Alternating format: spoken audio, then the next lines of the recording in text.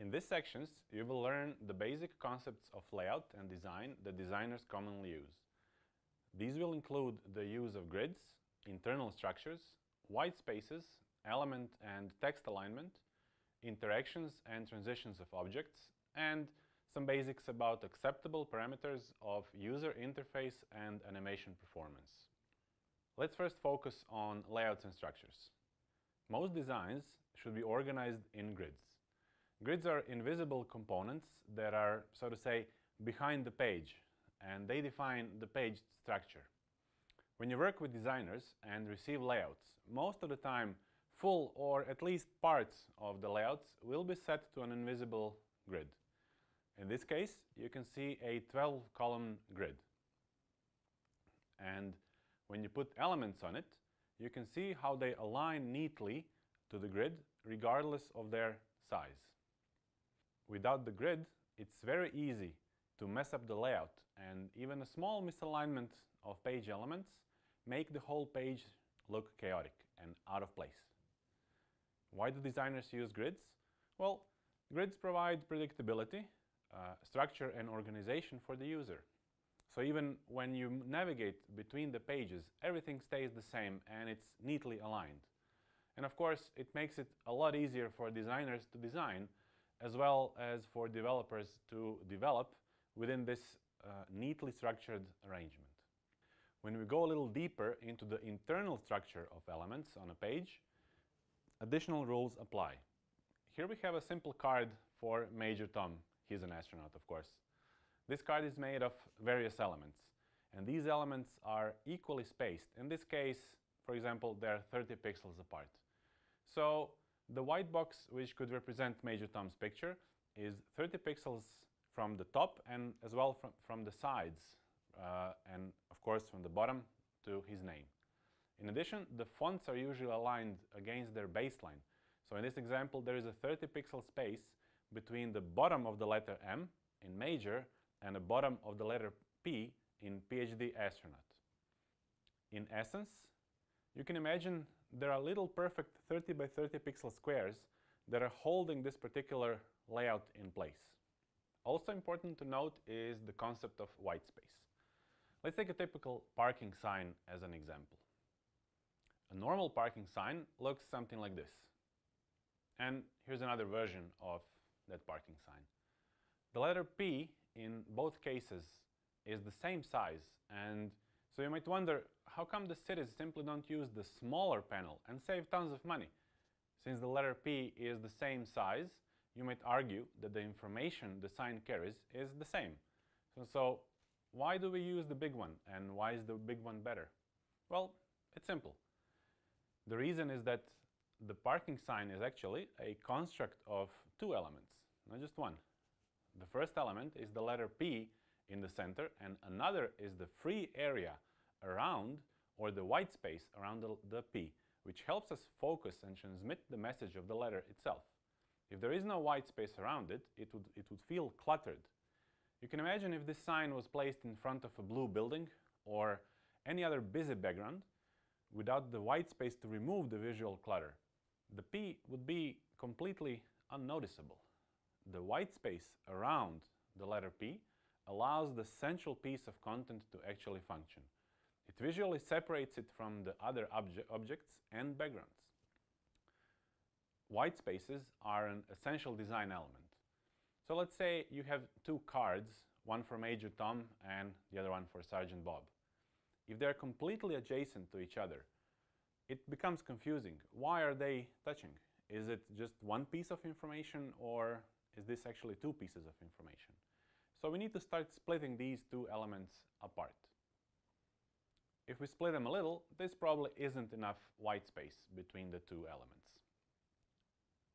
And they really are still too close to each other. So we need to space them up a little bit more. Yeah, now this is good. However, be aware that you actually can have too much white space and we start to perceive this white space as a separate element and in this case it becomes a third object between these two elements. So in other words, you can really have too much white space. just as important as the white space is alignment of elements. Symmetry and organization are two concepts that are fundamental to good alignment. The way our brains are hardwired is that we perceive symmetry as beauty and we recognize neatness and good organization of things as trustworthy. Let's talk about the appearance of trustworthiness. There was a study conducted a while ago with two ATMs at a shopping mall. The ATMs were one next to each other, literally, nearly touching each other, identical and from the same bank. But for this experiment, they scuffed up one of them. They banged it a little bit, they scratched the screen, hammered it a little bit with a, with a hammer, and they left the other one sparkling clean. The result was that the people were willing to spend more time queuing behind the clean ATM, while the other ATM was completely unused at all. This, this proved that the point of appear appearance for the ATM was just as important uh, as its function, and that people in general will perceive items that are neat in appearance as more trustworthy. As humans, we are symmetrical in structure and we perceive symmetry as beauty. Good example of this can be found in Hollywood, and you might have noticed that most actors and models have symmetrical faces. It's done on purpose. So let's talk about alignment and take into account the two concepts of symmetry and organization. One of the most common alignments you will see is left alignment. And you can think of it as an element inside another element, and you need to assure that the spacing from the top and bottom and of course on the left are equal. The same would hold true for font if you have something like an input box that holds text. For central alignment, items should be aligned on all sides, top, bottom, left and right. And of course for right alignment, if you have a button or an icon, something like a search icon inside of a search field, make sure that the icon is neatly aligned with the equal spacings top, bottom, and of course on the right. Same concept would apply in cross-page alignments. If you look at this graphic, it looks like we have a neat alignment on the left side of the screen, but if we look across to the right side of the screen, occasionally those elements fall out of alignment. Therefore, it's important to keep an eye for that and align them properly where required, either along the top, central, or bottom line. Text alignment can differ from one design to another. However, in most cases, text will be aligned on the bottom baseline of the text. And then, simply as a general, general rule, alignment of the object is more important than their pixel perfect size. For example, if you have a button and the button has an icon inside of it, if an icon is 10 pixels rather than 12 pixels big, most designers wouldn't complain about this. However, what they will complain about and more likely raise an issue if the icon is misaligned within the button itself. Of course, ideally, both would be preferred, a perfect alignment and a correct perfect pixel size. Let's talk about interaction rules. The basic interaction rule is that if something is clickable, it should actually show that it's clickable. For example, the cursor, the cursor should change to a hand when the user hovers over a button. Of course, it's important to signal to the user that something is happening on click as well. Simple example would be when the cursor is outside of the button, it's in the shape of a cursor. And then when it hovers over, over a button or any other clickable element, it changes to a hand. And when the button is clicked, the button itself could change color. Any clickable element should have a clear design on how it looks and reacts in all of those three stages. Another important design element are transitions. If a user interface element appears or moves onto a screen, make sure to transition it. Remember, nothing in life happens instantaneously, and even the speed of light has its limits. When you call an elevator, it comes to your floor and the doors don't just slam open. There is a transition as these doors open. So keep this in mind. If an element appears, fade it in, and when it disappears, fade it out. But of course, don't get too creative with the fade-ins and fade-outs, since it can easily result in becoming a turn-off. For example, if it takes too long or the animation is all sorts of wacky. If elements scale, then scale them. Don't just make them appear in their new size. If something moves across the screen, then move it. Don't just hide it in one place and show it in another place. If items are generated, show this generation, and so on. Another rule to remember is to avoid the unexpected. For example, if you have a box like this that says open on the right side with an arrow going to the right, when the user selects open, don't open the box downward and have, then have the close appear arbitrarily on the left side. The expectation would be that the box opens to the right. The transitions should follow that visu visuals. Unexpected designs put people in hospitals. This might look like a juice, it has fruit images on it and it's nice and red, but when you take a closer look, you will find that this is actually a multi-purpose cleaner. Let's be very careful in embracing the unexpected when it comes to design. One important topic of user experience is performance. This relates to the screen response and user interface response. In UI, we are always expecting less than 100 millisecond response time. So from the time the user clicks on something or starts to drag something, or there is some sort of a UI interaction, or the UI needs to respond, it has to be done within 0.1 of a second. Within this time, the user feels like they are in control of the interaction on screen. Anything above that adds this sort of a machine feel to it. And anything above one second response feels like something is completely wrong with the interface. Of course, way above one second is just dead zone. Let's just not, not even go there. Some of you might raise an eyebrow now, but it's impossible to have everything respond within you know, 0.1 of a second. Yes, that's true, but what's important to note is that the user interface response is not the same as the overall application response, particularly data loading. So popping a window is not the same as showing data in that window. So for example, we have a button, and when you click on it, a pop-up will appear. But the data can load inside of it later. So showing up this pop-up is decoupled from, from data loading inside of this pop-up. When the user clicks on a button, the UI should respond immediately, open up, and then fetch the data in the background and display it in the pop-up. One idea is to use the transition time to fetch the data so that the users don't have time to process the lag in data retrieval. Simply use the fade-in animation to fetch the data. However, we should always strive to make the response time instantaneous.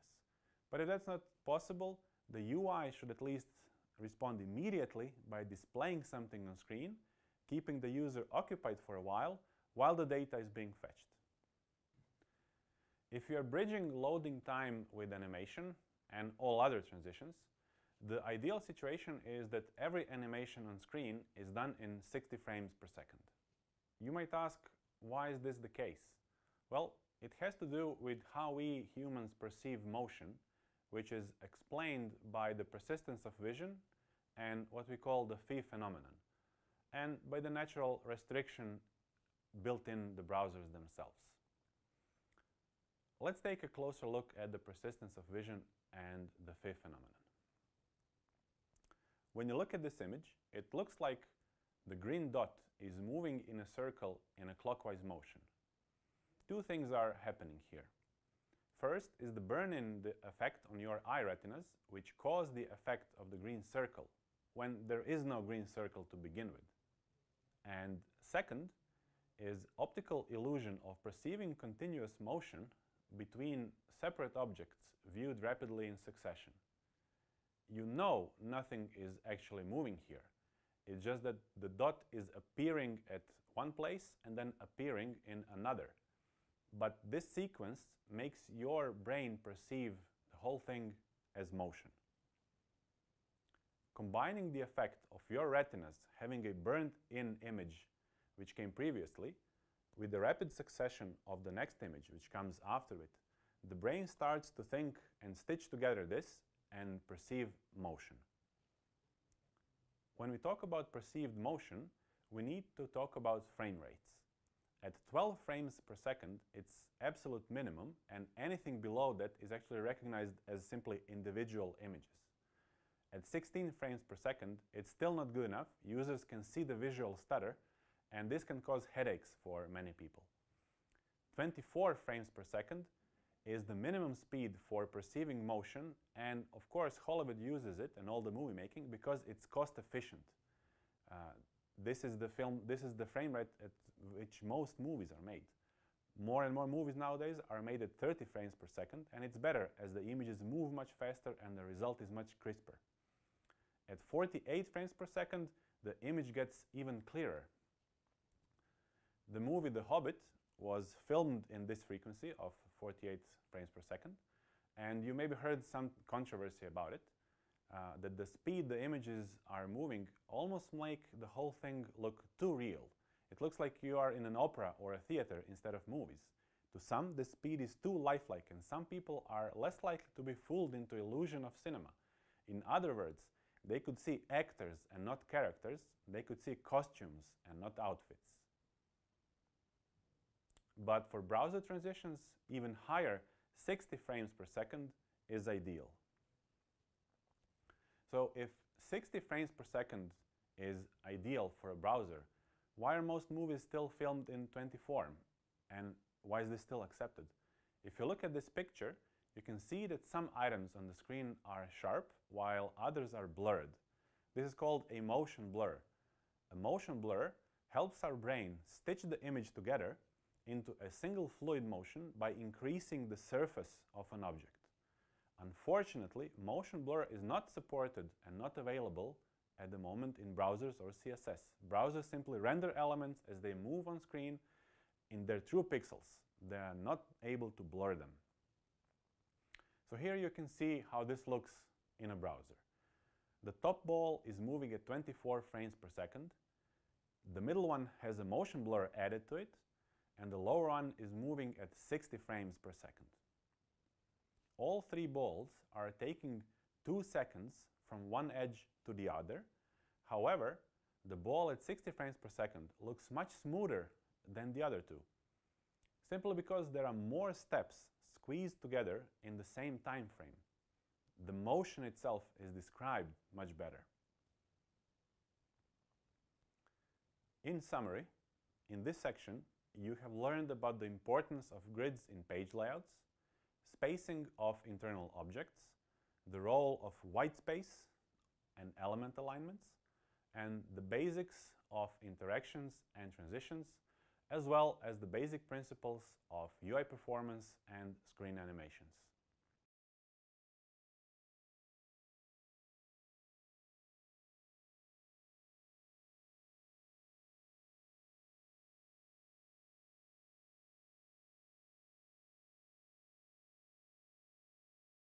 In this trio of videos, we're going to look at a strategy for being able to evaluate and critique designs that is extremely powerful and cost effective. The strategy is called heuristic evaluation or heuristic based feedback. And what I like about this is that there's, of course, lots of ways to evaluate user interface designs. You can evaluate them empirically, you can use formal models, you can have automated software measures. And what we're going to talk about here is being able to use expertise and heuristic feedback to be able to critique designs. One reason that I like heuristic evaluation so much is that you can use these heuristics to talk about designs throughout the entire design process. So you don't need to wait until you've built software. You can do this very early on with a paper prototype. Um, as you're starting to build things, You can give these heuristics to users so they have the vocabulary to talk about what's effective. You can give it to your manager. Everybody on the design team can use these heuristics. You can also use these before redesigning. So after you've released software and you're thinking about making a new version, heuristic evaluation is great as a way of going through the post-mortem of what you might want to do next.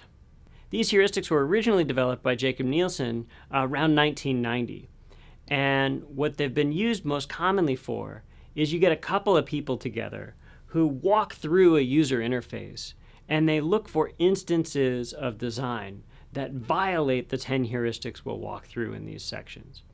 Then you can get together, sync up about what you found, and decide which are the most important to go forward with from there. The 10 heuristics that we're going to look at in these videos cover a wide swath of different user interface features, and I think will give you a useful vocabulary.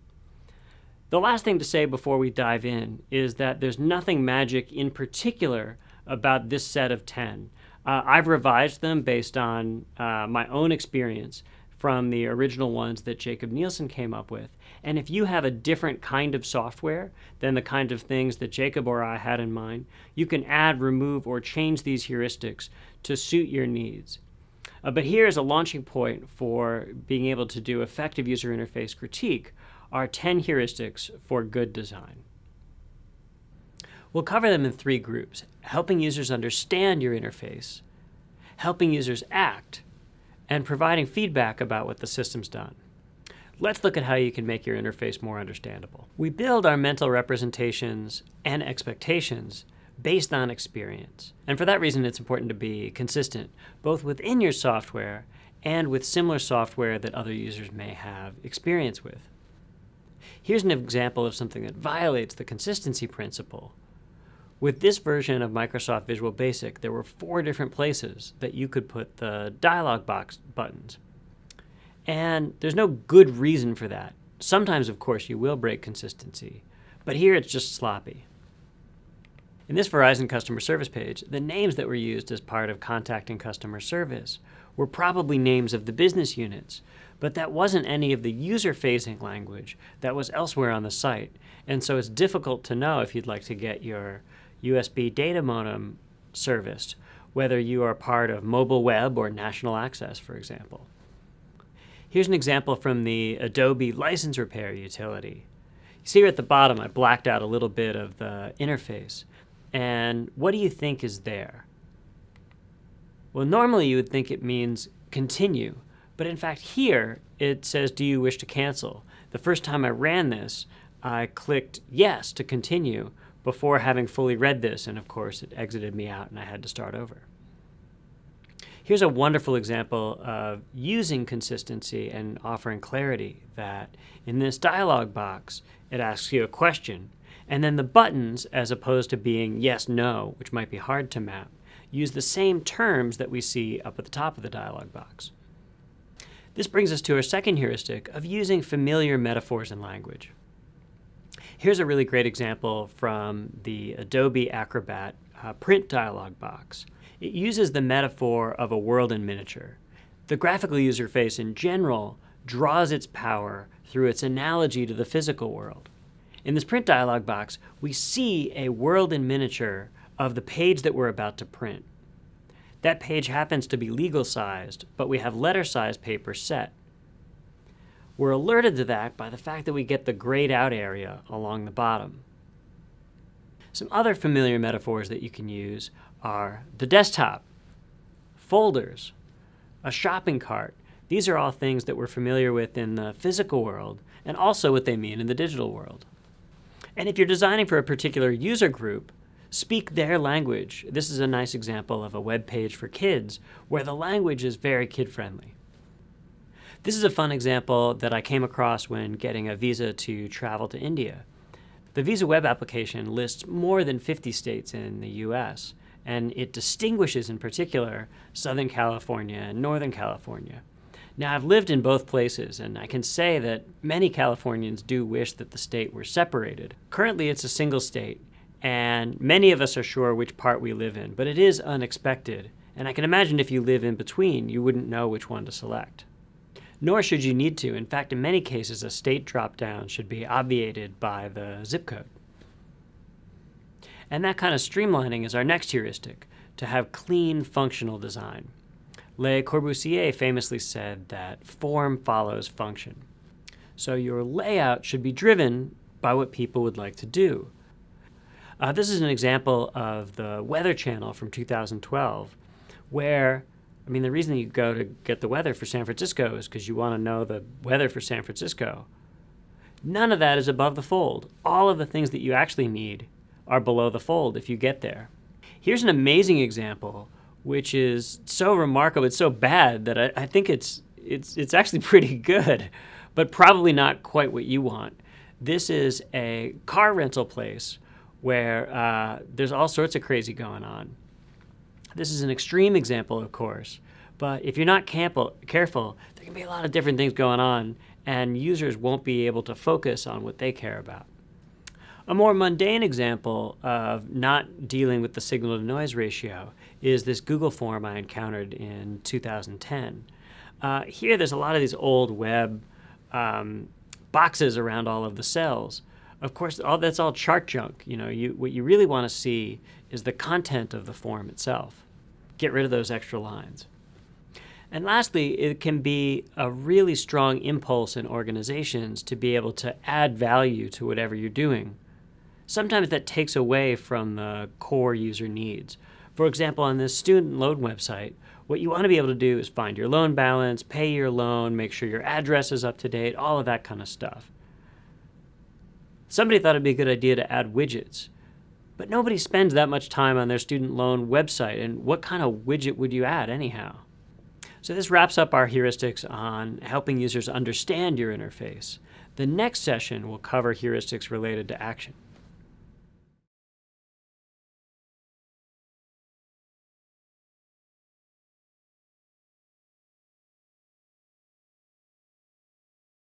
Welcome to this second set of heuristics.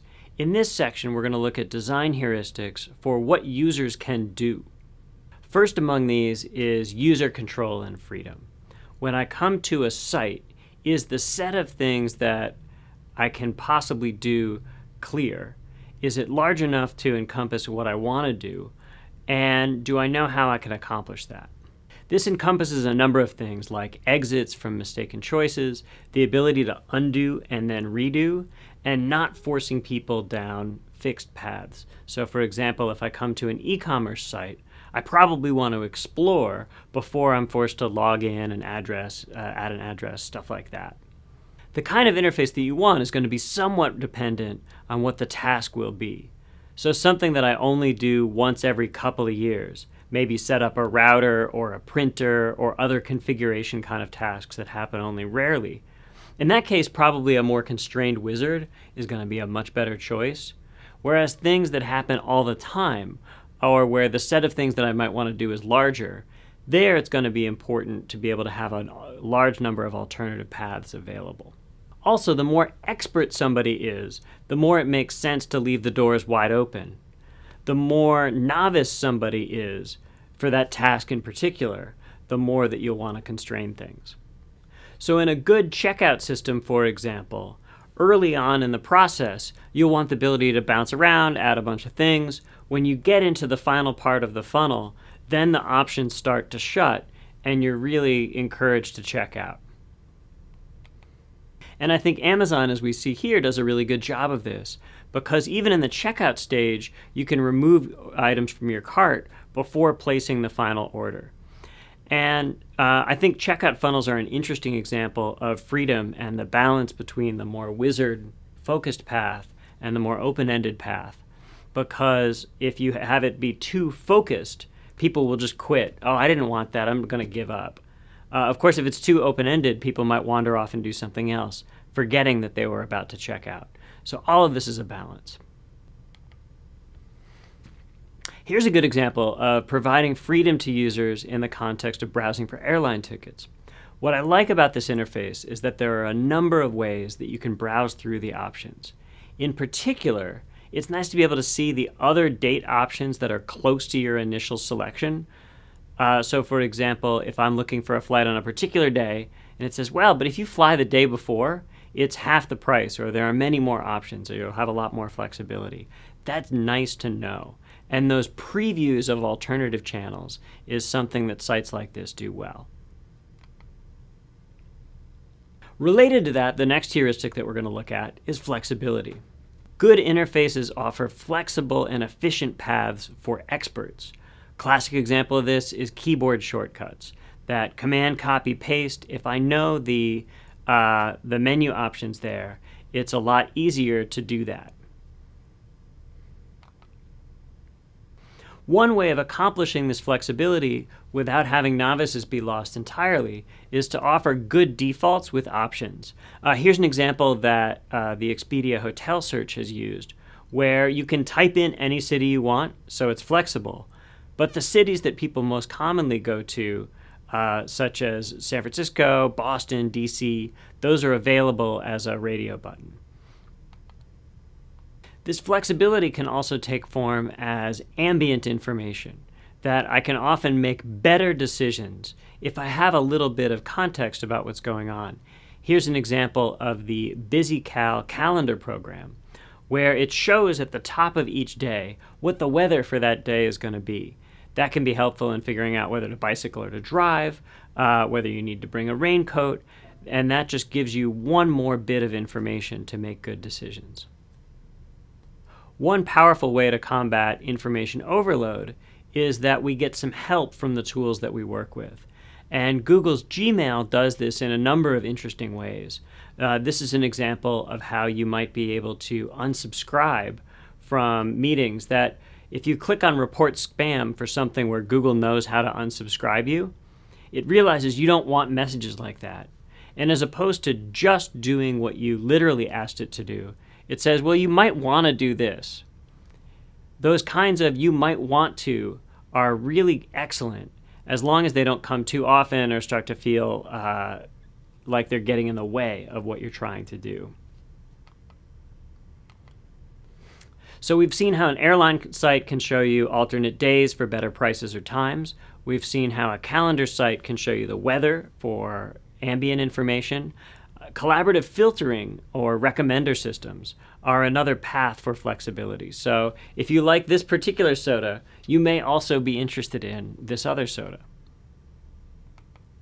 One caveat to building recommender systems and other algorithmically generated suggestions is that if the algorithms aren't good, then it can be really embarrassing. And so on some e commerce sites, you'll see comments, suggestions, other algorithmically curated content that just seems completely random, uh, occasionally even offensive to some users. And we have the SAP site, which often does a really good job of keeping content that's relevant. However, many of these posts are generic, uh, and if you have a specific goal, these more generic posts can be kind of a distraction. And so it, it's a balance between having content that is relevant, but one that's also related to your task. Difficult to do algorithmically, requires trial and error and prototyping, like so many things in design. Here's a fashion example of how, if you'd like to be able to unsubscribe from an email list uh, because you're getting emails too frequently, um, one option that the site might give you is well, you're getting these emails quite frequently from us. Would you still like to get emails just less frequently than before? That's a way of offering users some choice in what they're getting. And the third action heuristic that we're going to explore today is recognition over recall. The insight of recognition over recall is bedrock to user interface design.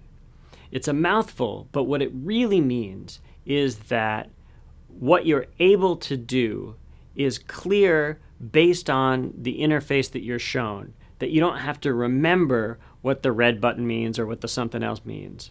Uh, for our research group one day, we got uh, uh, sandwiches that were all wrapped in tinfoil and they each came with a numerical code. And we had to look up from the code whether it was falafel or chicken or beef or something else. Uh, and here it's just a fun, silly example from our research meeting. But it's a nice pedagogical example in terms of you can't just grab a sandwich. You need to do a referral to some index system to understand what it means. Many interfaces have this attribute too, where it can be difficult to know just from looking at it whether uh, what that particular button or control or link will accomplish. And this benefit of recognition over recall is one reason that strategies like speaking navigation, where links have larger blocks of text as opposed to trying to pare it down, often test better in terms of the user experience. So when you have navigation, it should present enough context that you can understand what's available. That doesn't mean add lots of extra steps. And so, a challenge of, of poor navigation on some sites is that it's broken down into steps that don't necessarily make sense. Like in this movie Showtimes example, it's not clear why we need a completely separate path to purchase tickets for today versus for to purchase tickets for tomorrow or a future date. You could imagine, in fact, we see this in the airline example, just put the calendar right on the opening buy tickets page. It can default to a reasonable date, which might be today for movie tickets, and then you can change it if you want to.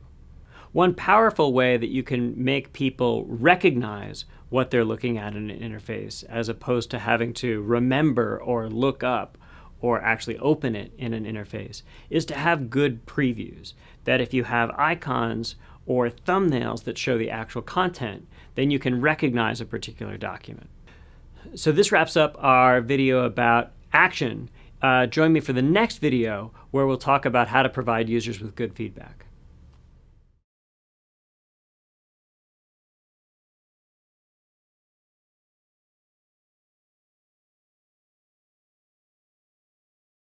When you're using an interface, how do you know what just happened? From the feedback that the system provides to you. In the real world, the feedback often happens naturally. You bounce a ball, you see it come back up. But in the computational world, we're designing what it is that the user sees and hears. And it's often difficult if you're not paying attention to provide that good feedback. But there's several strategies for doing a good job, and it's extremely important. To start off, show what the status of the system is. If you have an interaction that happens almost immediately, a lot of the feedback is simply showing the current state. So if you've got a flow, you're just at the current state of the design. Now, how much feedback you need will depend on response time. Under a second, just show the outcome.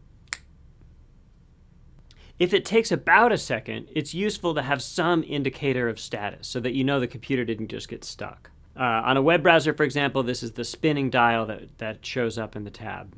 But this could just as easily be the hourglass or a spinning ball or a progress icon, anything that moves that where the pixels change on the screen so that you know that something is happening.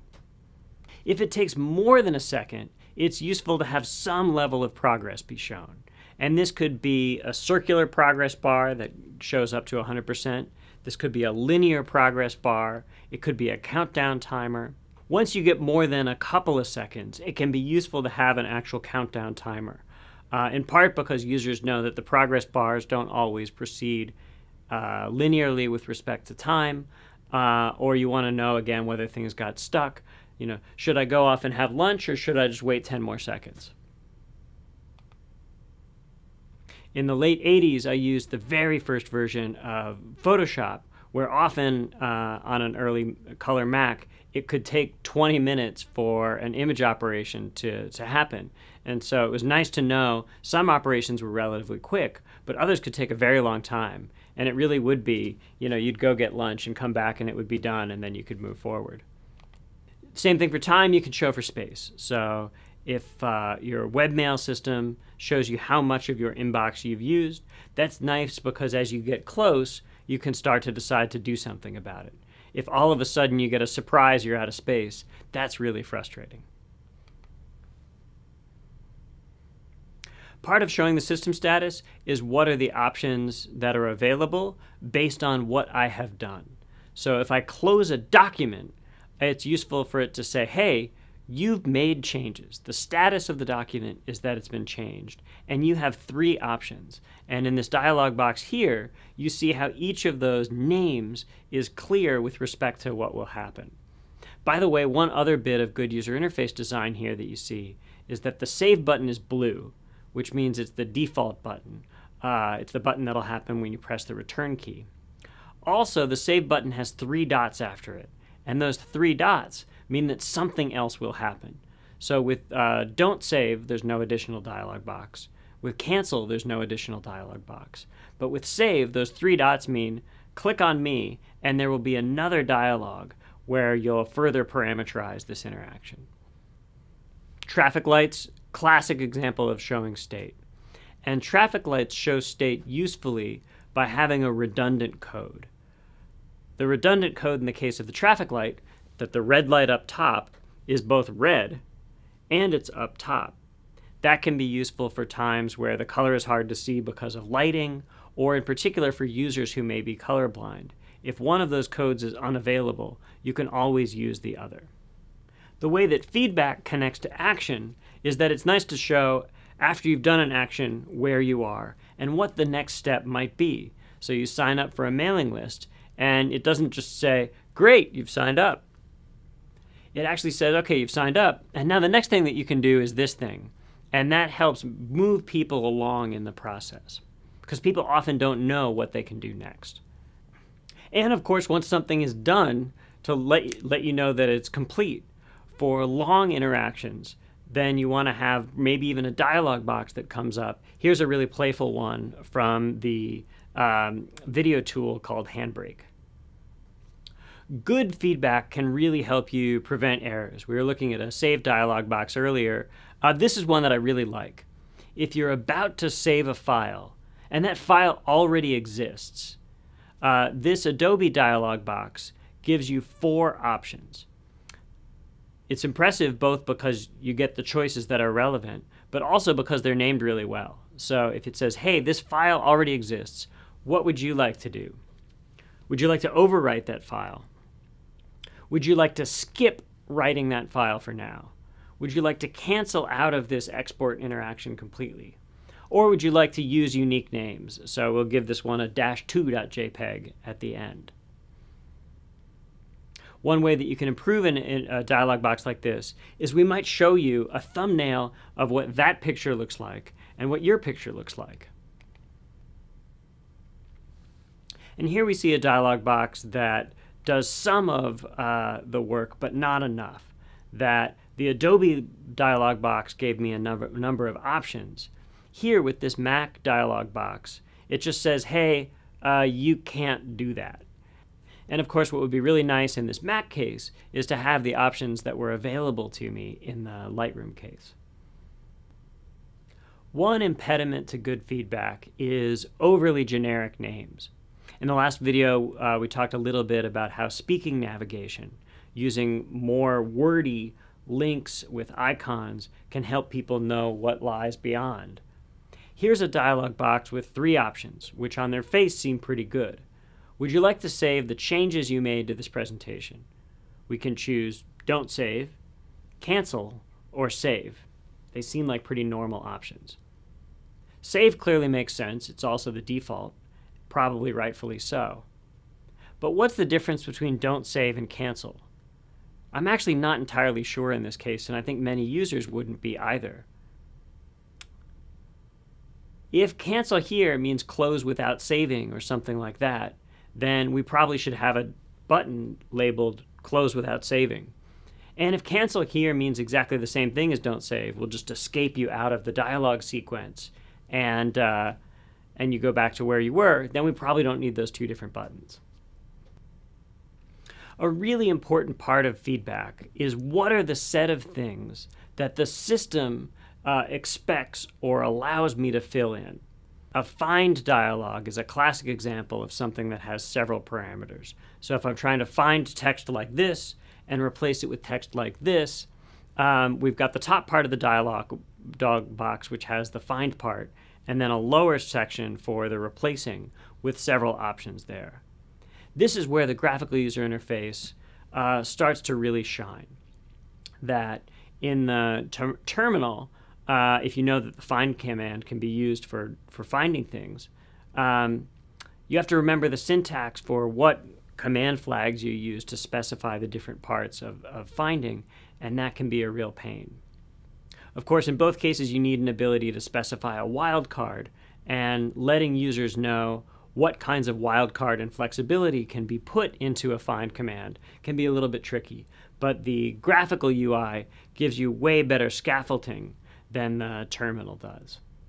Also, in the graphical user interface, it is difficult to make syntax errors because the physical structure of the dialog box and the things that you can type into and press mean that you can't have a you entered something nonsensical. Whereas in a command line system, if you uh, type a flag that doesn't exist or enter in a malformed expression, it will just barf on grounds that what you tried to give me wasn't a reasonable command to give. And so, a benefit of graphical user interfaces from a feedback perspective is that they omit the possibility of syntax errors.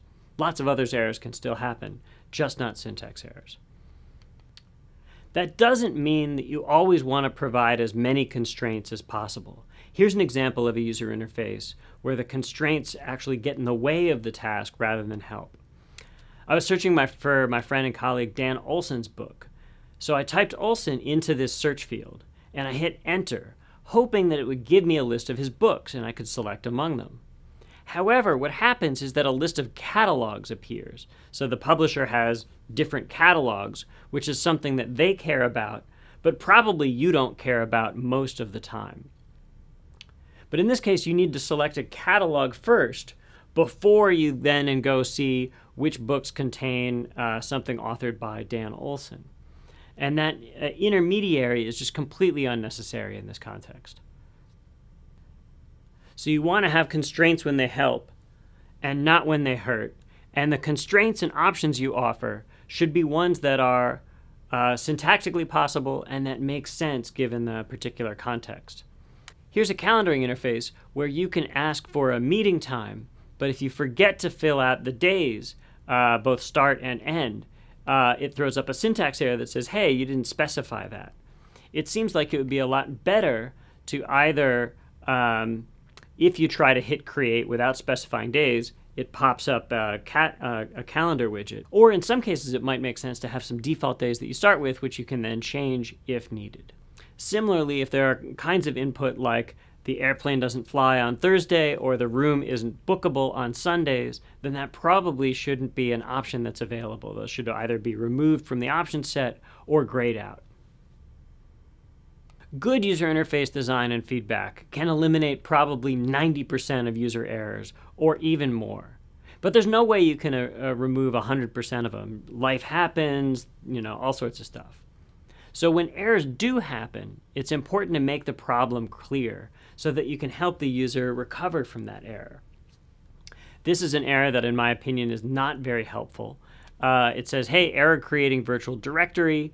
Um, the unknown error has the following hex code. This is a little better than it looks because what a lot of people have figured out to do is that you take that hex code and type it into Google and you can find information there. Uh, that inspired a, a, research project of my group on opportunistic programming, where we use the web browser as part of the programming interface. But here, uh, you could at least have a hyperlink. And gosh, if we know a little bit about what that hex code is, maybe you could give me an English language summary of what that might be. The lack of helpful feedback probably shows up more in form filling than any other task, where here's a common error that I'm sure you've all seen. It says you must fill out all the required fields. Usually, when the user gets to this point, they didn't realize that something that they uh, didn't put in wasn't required, if that triple negative makes sense. So, if I'm filling out a form and I click go, usually I either think that I've filled out everything, or at least that I filled out all the stuff that I needed to, or at least that I filled out all the stuff that I knew the answer to. It's possible I missed a field just by whatever, or misunderstood what was required or not. But simply telling me, hey buddy, you didn't fill out all the required fields, that doesn't help. So, how could you make that better? Well, one thing that you could do is you could show people what they just filled out, where you bold and highlight and make super obvious. Uh, hey, you can even put an arrow around the side of the screen. I need you to add your city. Great, that I can do. Uh, or um, we need you to specify your organization. If you don't have one, check this dialog box. Or alternatively, you could just say, uh, hey, we need you to fill out your city, and then inline that particular single element that's missing. So there are a number of ways that you can guide people to the specific thing that you need them the information from uh, without just saying you didn't do it right. And this Facebook sign up shows one example of that. Where here, if I try to fill in nothing, just as an example, uh, pedagogically, and click sign up, it puts a red box around all the things that I missed. It puts a big red exclamation point around them also. So we have two codes showing that. That way I won't miss the same thing again. And it puts a big arrow by the first one that I should start out with. And so it gives me a nice on ramp to get going. This dialog box of some files could not be created uh, is probably not something anybody wants to see.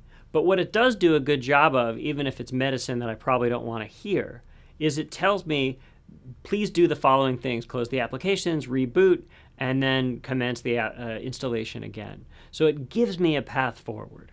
That's extremely important. For search user interfaces, sometimes when you can't find anything, uh, it's nice to know hey, remember to check the spelling, try more general terms, use synonyms, stuff like that. This is a good uh, user interface. Without a doubt, a better user interface would be to say, uh, you typed Scott with one T. That didn't give us anything, so here's some examples of Scott with two T's.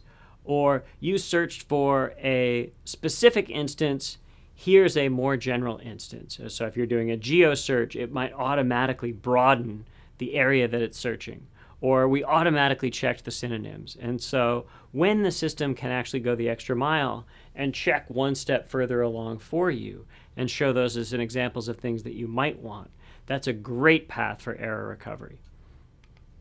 Some errors or problems may be things that we don't even realize. This is the challenge of phishing on the web.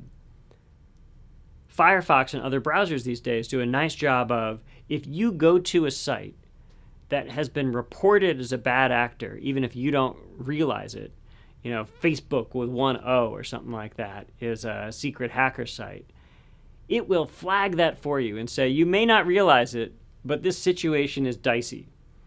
And of course, you, you can, uh, there's a text in the lower right corner where you can say, no, no, I know what I'm doing, which is sometimes necessary to do.